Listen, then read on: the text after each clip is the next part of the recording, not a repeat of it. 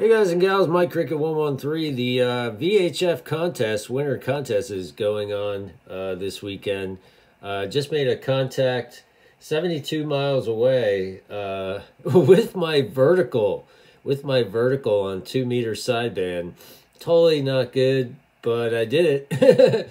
and he laughed and I laughed and it was fun, fun to do. Usually when you run two meter or uh, 440 uh, you know 432 uh, sideband, you're usually running horizontal, but uh, like I said, all I have is a Tram 1480. But made the contact nonetheless. Worked this guy for the last three years actually uh, on either six meter or two meter sideband. So pretty cool to hear he's still out there.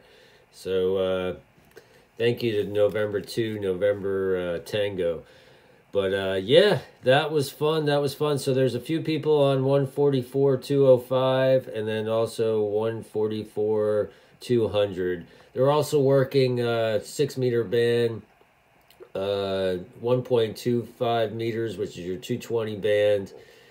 And uh, I think they're still, they're actually still, they're working uh, 70 centimeters. So that would be your 432 or your 446 zero anywhere in between there. So your VHF contest is uh, on, I think, until 2 o'clock this afternoon.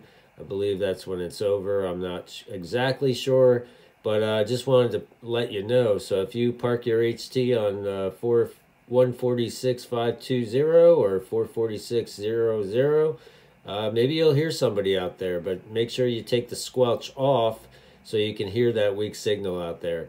This is Mike Cricket 113. Have a good weekend.